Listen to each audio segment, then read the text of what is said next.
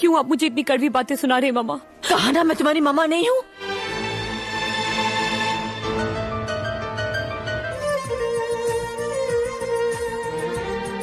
Shalu you good for nothing okay अपना तो कुछ काम करती नहीं हो। देखो मामा कुछ भी कहे सारी दुनिया कुछ भी कहे। Assalamualaikum warahmatullahi wabarakatuh.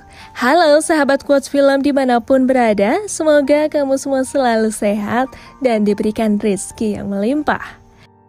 Pada kesempatan kali ini, Quotes Film akan membahas film Dilhai Tumhara yang dirilis pada tahun 2012 Dilhai Tumhara menceritakan tentang seorang anak tiri yang berkorban untuk mendapatkan kasih sayang dari ibunya Film ini juga dibalut dengan kisah cinta seorang pengusaha yang menyamar menjadi supir di perusahaannya sendiri hingga dirinya mencintai pegawainya.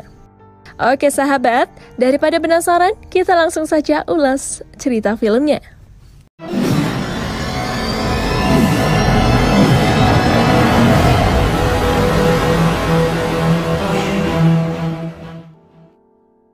Di awal film, kita diperlihatkan dengan sepasang suami istri yang harmonis, yaitu Tuan Shekar dan Nyonya Sari Taji. Pagi itu, Tuan Shekar bersiap-siap untuk pergi bekerja, kemudian dia sarapan bersama istri dan putrinya, Nimi. Setelah selesai sarapan, Nimi menagih janji ayahnya untuk jalan-jalan, namun Tuan Shekar beralasan banyak kerja. Ibunya pun membujuk Nimi dan akan mengajaknya pergi ke Wonderworld. Malam harinya, mereka kemudian pergi ke Wonderworld dan Nimi sangat gembira bermain di wahana tersebut. Selang beberapa saat, Nimi melihat ayahnya juga ada di sana bersama perempuan lain dan seorang anak. Nimi pun memanggil ayahnya, kemudian Tuan Shikar yang melihat Nimi dan istrinya berada di sana terkaget. Setelah kejadian itu, Nyonya Saritaji pulang dan mengamuk karena suaminya dengan wanita lain. Di sisi lain, Tuan Shekar terlihat dalam perjalanan bersama selingkuhannya dan anak perempuannya. Malam itu, hujan deras yang membuat penglihatan Tuan Shekar menjadi kurang jelas sehingga dia tidak melihat ada truk di depannya yang membuat Tuan Shekar hilang kendali saat menyetir dan terjadilah kecelakaan. Nyonya Saritaji yang mengetahui suaminya mengalami kecelakaan, dirinya langsung ke rumah sakit dan di sana dia mengetahui selingkuhan suaminya meninggal. Dia kemudian mendatangi suaminya dan Tuan Shekar meminta maaf telah melukai hatinya. Kemudian dia meminta agar istrinya menjadi ibu pengganti untuk putrinya bernama Salu. Dengan sangat terpaksa, Nyonya Saritaji yang sangat mencintai suaminya itu mengiyakan permintaan tersebut. Bersamaan dengan Tuan Shekar, Tuan Shekar pun menghembuskan napas terakhirnya. Singkat cerita, Nyonya Saritaji masih belum bisa menerima kehadiran Salu dalam hidupnya, meskipun sekarang dia sudah bersekolah. Hal itu terlihat pada Salu dan Nimi yang memperlihatkan raport mereka dan Nyonya Saritaji sering mengabaikannya. Beberapa tahun kemudian, Salu tumbuh menjadi gadis cantik yang diperankan oleh Pretty Zinta. Pagi itu, Salu yang akan pergi dia memanggil anjing kesayangannya dan anjingnya menyenggol vas bunga yang membuat Nyonya Saritaji sontak memarahi Salu. Salu pun pergi menemui Samir teman masa kecilnya. Dan di sana Samir yang melihat Salu bersedih, dia berusaha menghibur Salu. Samir sebenarnya menyukai Salu tapi dia tidak berani mengungkapkannya dan hal itu terlihat ketika dirinya akan mengungkapkan perasaannya, namun dia justru mengalihkan pembicaraan mereka. Di sisi lain, Nyonya Saritaji sedang mengadakan rapat dengan para dewan membahas tentang kehidupan para petani apel yang sedang terpuruk karena penjualan hasil panen yang sangat murah. Di sana juga ada Tuan Mital, seorang pebisnis yang ingin melengsarkan Nyonya Saritaji dari jabatannya sebagai gubernur. Tuan Mital sengaja membuat situasi semakin panas dan Salu yang melihat kejadian itu membuat rencana untuk mengerjainya. Tuan Mital kemudian marah karena kejadian itu dan dirinya pergi dari sana. Nyonya Saritaji lalu memarahi Salu karena lelucon yang dibuatnya yang membuat dia merasa malu di depan banyak orang. Di sana, Salu mengatakan bahwa yang dilakukan hanya untuk membela ibunya, tapi Nyonya Saritaji tetap tidak peduli, bahkan dia mengatakan jika Salu adalah anak yang tidak berguna. पूछना ये किसी काम की नहीं मिर्ची खाकर किसी का भी मुंह चल जाएगा बस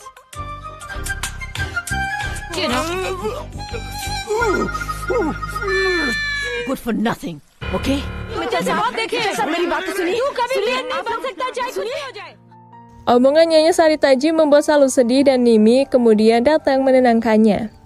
Di tengah kesedihannya, Salu memperlihatkan semua album foto mereka dan Salu merasa ibunya hanya menyayangi Nimi tanpa pernah mempedulikan dirinya. Keesokan harinya, terlihat Salu sudah berpakaian rapi dan Mimi kaget melihat Salu tidak seperti biasanya.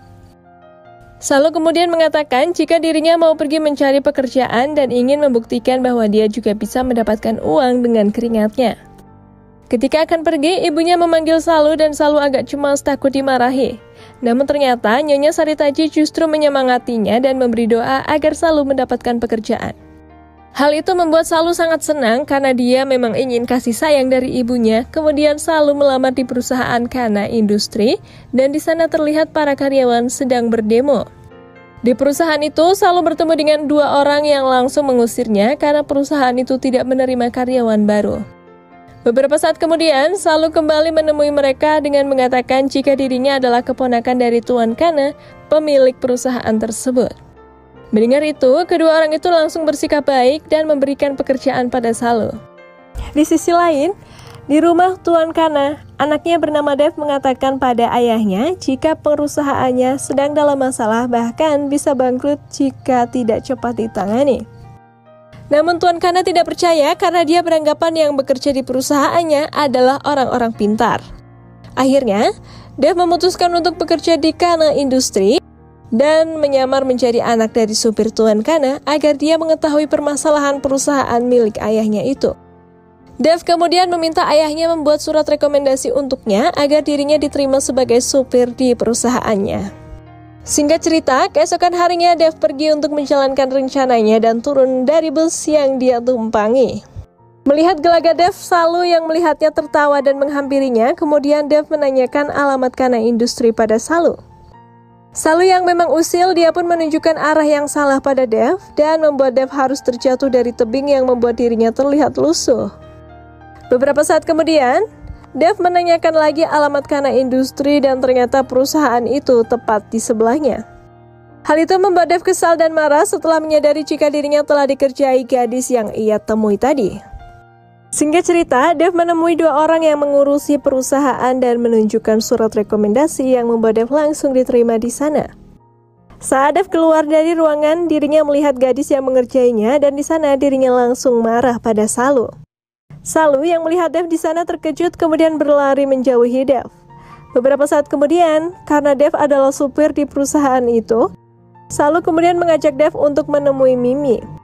Dev pun mengiyakan karena dirinya memang akan membalas perbuatan Salu. बारी सर अ, अ, बात बात बात तुम! एक मिनट एक मिनट ये सब होगी मैंने तुम्हें पहले कभी और नहीं देखा देखोगी भी नहीं कि तो मैं तुम्हें जान से मार दूंगा हाँ ये खराब होने वाली है हाँ! देखो पागल हो गई क्या ओए वो आदमी ड्राइवर वो दो stupid! दिन आपने मैं तुम्हें तुम्हारी नौकरी से निकलवा दूंगी स्टूपिड ड्राइवर देखिए मैडम पागल हो गई हो क्या ऐसे कोई गाड़ी चलाता है क्यों मैडम आपको मेरी ड्राइविंग ब्लडी ड्राइवर धीरे चलो Sesampainya di sana, terlihat Mimi yang sedang bekerja, dia terjatuh dan Dev langsung menangkapnya. Sesaat kemudian, Salu memperkenalkan Dev pada Mimi jika itu adalah supirnya dan Dev memperkenalkan dirinya dengan nama Anan. Di tempat lain, anak buah Dev melakukan pemeriksaan laporan keuangan di kanan industri dan ternyata kekacauan itu ulah dari Tuan Mital agar perusahaan tutup dan dia bisa membeli sahamnya. Scene berpindah dengan memperlihatkan banyak para demonstran meminta kejelasan di rumah Saritaji.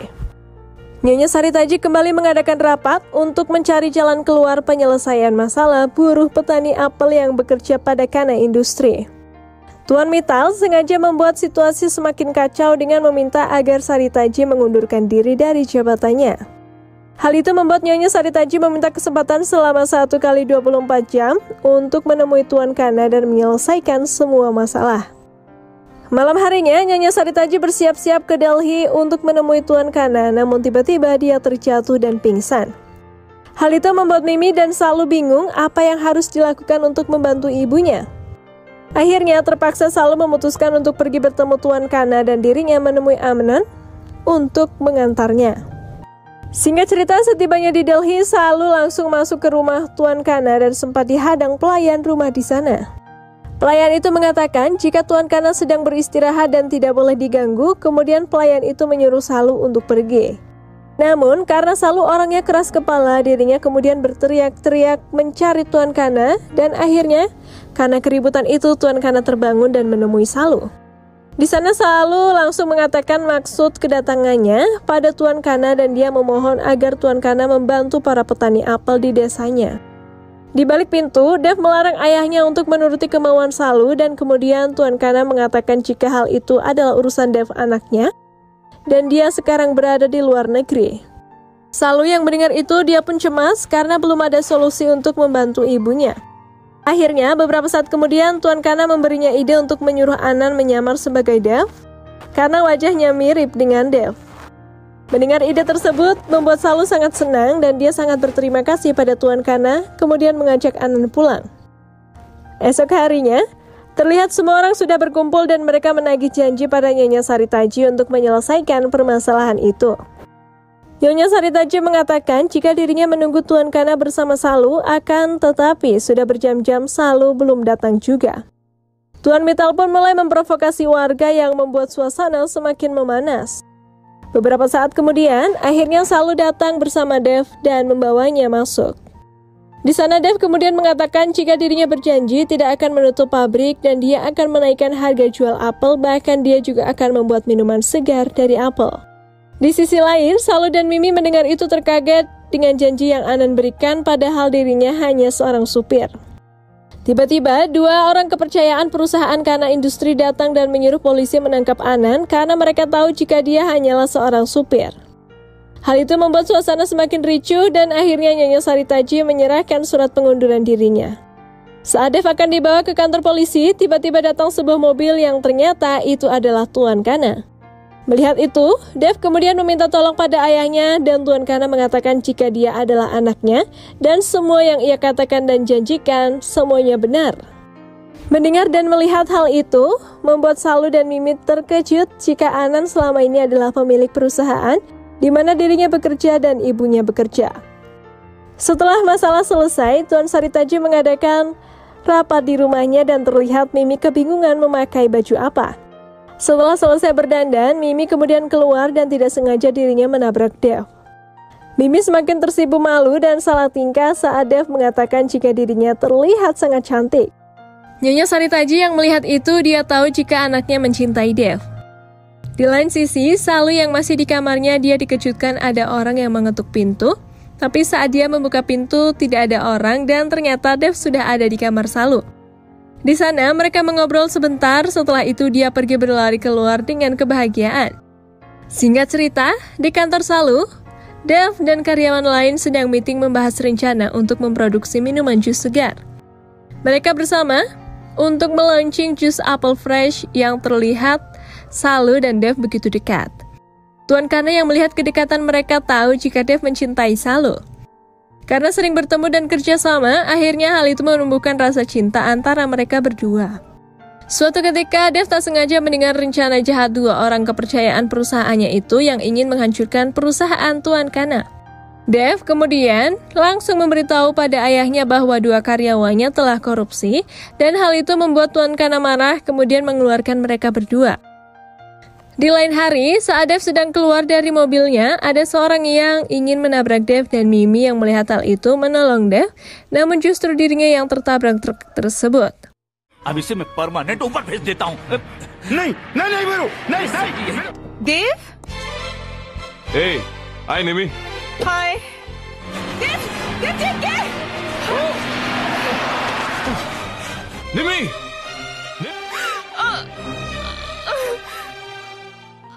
Karena kejadian itu membuat Mimi dirawat di rumah sakit dan Dev yang merawatnya karena dia merasa hutang nyawa dengan Mimi.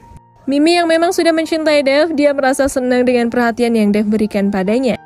Singkat cerita, Dev kemudian menemui Salu dan di sana ia mengatakan bahwa Dev sangat merindukan Salu karena 4 hari 8 jam 31 menit 5 detik dirinya tidak melihat wajah orang yang ia cintai. Salu yang mendengar itu sangat senang karena dia juga sebenarnya mencintai Dev. Singkat cerita, Dev kemudian mengirimkan hadiah untuk Salu ke rumahnya. Mimi yang melihat itu salah paham karena dia mengira jika itu adalah hadiah untuknya dari Dev. Beberapa saat kemudian, Salu yang baru pulang, dia sangat senang melihat kado itu, kemudian dia berlari untuk memeluk kakaknya. Mimi mengatakan jika dirinya sangat mencintai Dev dan Dev juga mencintainya.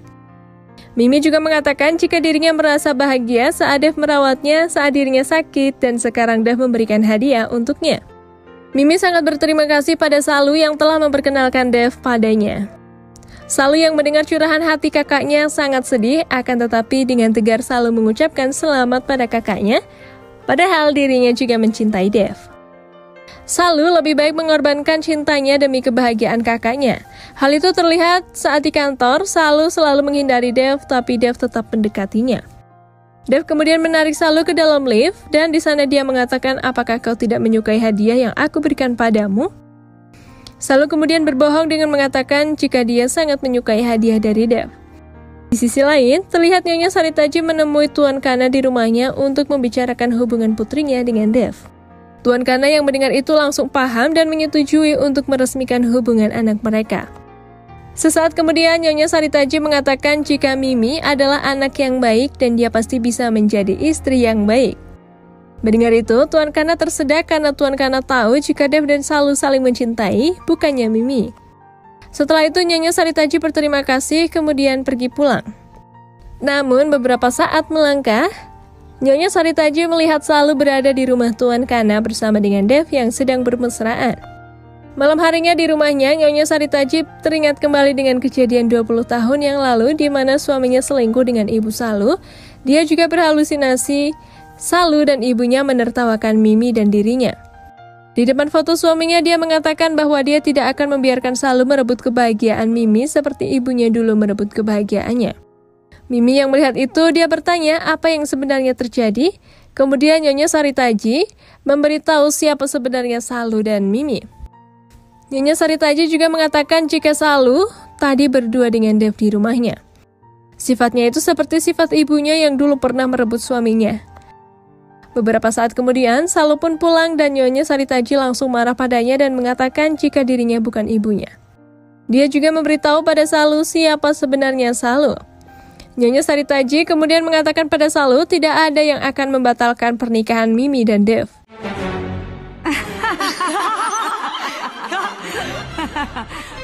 Good evening मामा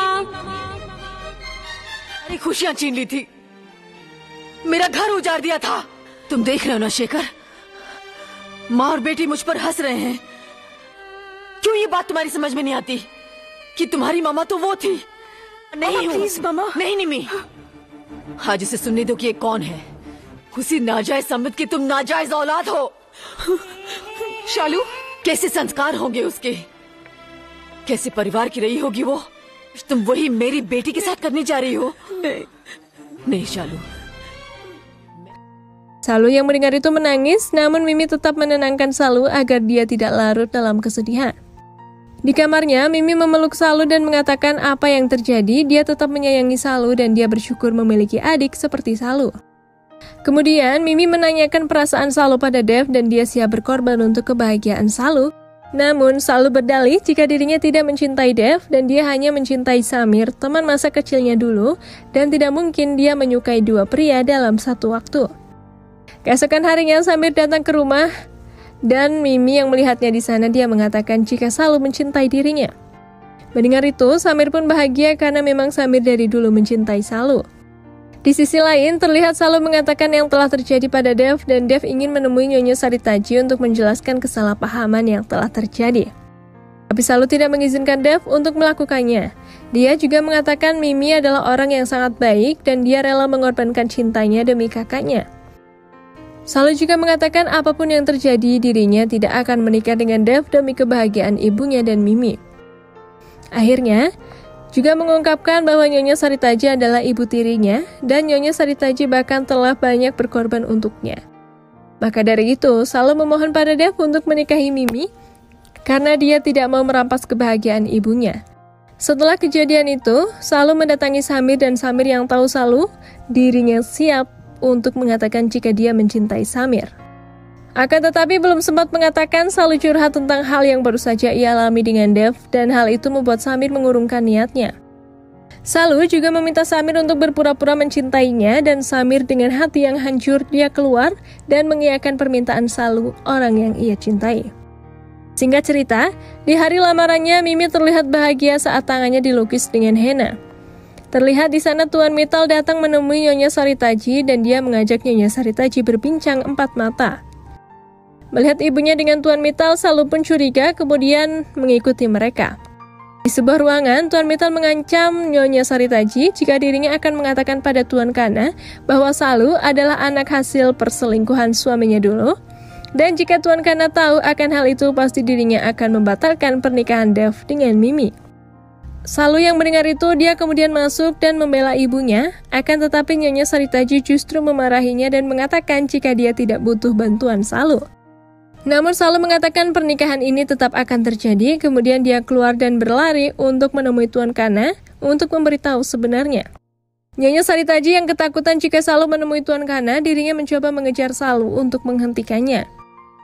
Salu yang berlari dengan terburu-buru dia sempat terjatuh dan membuat dirinya terlihat kotor. Namun karena kegigihannya, dia akhirnya sampai di rumah Tuan Kana yang juga sedang mengadakan pesta. Tuan Kana kemudian menemui Salu yang terlihat lusuh. Di hadapan Tuan Kana dan Dev, Salu menangis dan menceritakan tentang siapa dirinya yang sebenarnya. Salu juga memohon agar Tuan Kana tidak membatalkan pernikahan Mimi dan Dev hanya karena latar belakang dirinya. Dia tidak mau melihat ibunya menangis dan dia juga tidak mau ibunya menderita hanya karena memiliki anak tiri seperti dirinya. Nyonya Saritaji yang mengikuti Salu, di sana dia mendengar semua ucapan yang selalu dikatakan dan dia sekarang menyadari bahwa anak yang selama ini dibenci begitu sangat mencintainya. Nyonya Saritaji bahkan menangis dan dia sekarang tidak akan memaksa Mimi menikah dengan Dev. Tuan Kana pun mencium kening Salu, sembari mengatakan jika dia tidak akan membatalkan pernikahan Mimi. Tuan Kana bahkan sangat bangga dengan Salu yang berani mengungkapkan itu semua. Tuan Kana kemudian mempertanyakan perasaan Salu pada Dev. Tapi Salu tetap saja berbohong dengan mengatakan jika dia tidak mencintai Dev. Nyonya Saritaji yang mendengar itu dari samping, dia tahu jika sebenarnya Salu sangat mencintai Dev.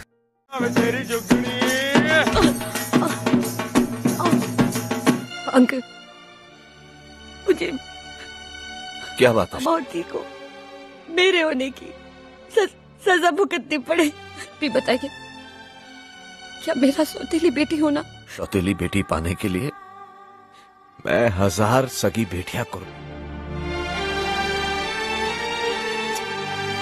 ये शादी होगी। ज़रूर होगी। मुझे उसकी परवाह नहीं। मैं तो अपनी इस प्यारी सी बच्ची को बस अपने सीने से लगा इतनी आसानी से Setelah kejadian itu, Nyonya Saritaji pun pulang dan mencari Salu. Di sana Salu mengatakan jika pernikahan Mimi akan tetap dilaksanakan dan Nyonya Saritaji langsung memeluk Salu dan meminta maaf atas sikapnya selama ini. Nyonya Saritaji mengatakan jika dia sudah tahu semuanya, jika sebenarnya Salu mencintai Dev dan dia akan mengatakan itu pada Mimi agar membatalkan pertunangan ini. Namun Salu tidak ingin Mimi tahu yang sebenarnya karena Salu telah merasa bahagia telah mendapatkan kasih sayang seorang ibu yang selama ini dia inginkan. Keesokan harinya, acara pertunangan itu pun tiba dan terlihat Salu dan Samir menyanyi di sana. Namun Nyonya Saritaji, Dev, Tuan Kana, dan Samir merasa sedih karena mereka tahu akan perasaan Salu yang sebenarnya. Saat acara pertunangan dimulai, Mimi melihat ada yang aneh melihat ibunya, Samir, dan Tuan Kana yang terlihat bersedih.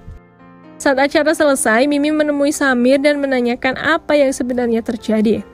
Tapi Samir pergi begitu saja dengan mengatakan dirinya tidak tahu. Dan malam harinya, Mimi pergi ke rumah Samir dan di sana akhirnya Samir mengatakan semuanya pada Mimi tentang perasaan Salu pada Dev dan hal itu membuat Mimi merasa bersalah pada adiknya. Keesokan harinya, Tuan Kana memperkenalkan produk baru dari perusahaannya sekaligus juga mengenalkan calon menantunya. Saat Salu mengajak Mimi naik ke panggung, Mimi berhenti dengan mengatakan jika dirinya tidak akan membuat kesalahan besar dengan menikah bersama Dev. Kemudian Mimi juga mengatakan bahwa dia sudah tahu Dev dan Salu saling mencintai karena Samir telah menceritakan semuanya. Di sana, Mimi dan Samir juga mengungkapkan bahwa Salu berhak mendapatkan kebahagiaan, kemudian film pun berakhir.